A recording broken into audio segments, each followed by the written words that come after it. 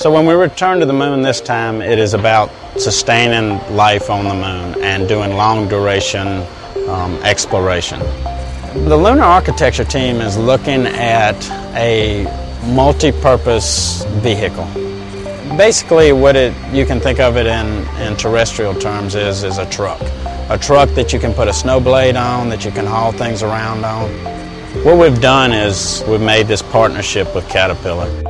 The first step uh, for us was to provide them with a um, tele-remote multi-terrain loader, which uh, we were able to deliver to them. The relationship with NASA is very beneficial for us. This is because NASA has very good experience in different domains like robotics and uh, vision. So we are trying to take advantage of that and adapt it to our machines.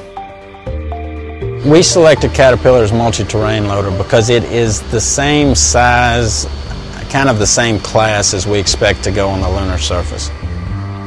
Caterpillar is also helping out with giving us ideas. They're part of the design reviews. We have Farad and Jean-Jacques available so we can talk about ground pressure, what, what the shape of a bulldozer blade should be. Best thing about our partnership is it parallels what Caterpillar needs to do in the market. So they're building infrastructure all over the world, some of it in very remote and some of it in very dangerous places. I think NASA has a strong need for Caterpillar technology, especially if they are trying to implement uh, sustained life on the moon. Yes, NASA is something that add a little bit of spice to the project because they get us very excited.